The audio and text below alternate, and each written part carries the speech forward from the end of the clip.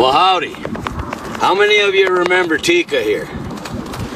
Tika came to me about eight months ago on her deathbed.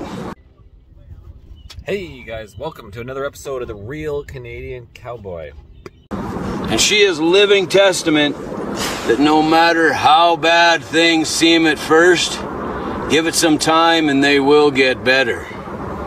She had been completely ravished by two other Rottweilers and was almost dead. And they'd been doing it to her for quite a while because her body was so full of infection. Her hind left leg was immobile.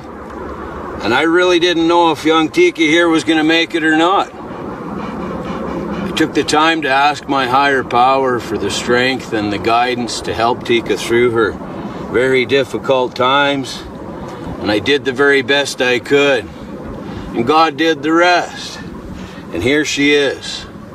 So, folks, when things get tough, take the time to ask your higher power for the strength and the guidance to navigate the difficulties that you're looking at. And believe me, the help will come.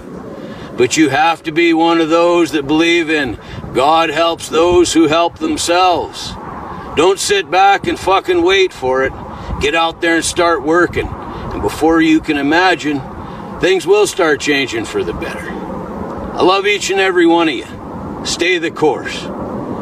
Be true to yourself. Resist the evil. Thanks for watching, everybody. Real Canadian Cowboy. This is Irnie Racing. Like, subscribe, share. Let's beat that Censor Tube algorithm.